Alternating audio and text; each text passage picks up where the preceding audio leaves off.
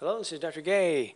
This is a patient who has an AC separation, relatively uncommon finding uh, in the shoulder.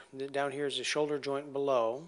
We have the humeral head, we have the glenoid, the cup it sits in, and the whole joint looks fine. But above the joint, there's another joint here. This is the AC joint or the acromioclavicular joint. Here's the acromion process, clavicle.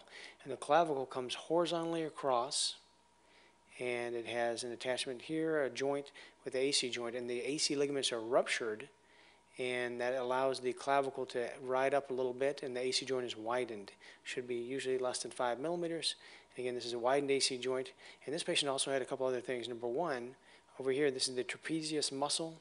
It has a broad attachment on the clavicle, and the very distal part over here, you can see this fluid that comes out of the joint and wraps underneath.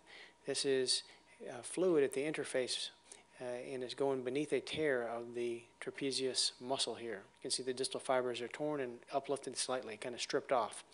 And most of them are intact over here medially. The other thing we note is that the clavicle is not super high riding, and that's because there's another ligament complex over here. This is the coracoid process in clavicle, so it's the coracoclavicular ligaments. And you have a couple components. This one is the conoid component medially, I believe. And then out here, there's a more broad one. It's called the trapezoid. And I believe the trapezoid component is partially torn because I don't really see it that well. It's kind of thickened and ill-defined. Plus, the clavicle is a little bit high riding, which makes, these, makes me think that the trapezoid portion is partially torn and um, not doing its job, so it allows the clavicle to elevate. But again, this conoid portion we can see pretty well. So in the end, we have an AC separation with partial tear and stripping of the trapezius muscle from the distal attachment to the clavicle and the surrounding edema and hemorrhage. And that's it. And the shoulder joint looks great.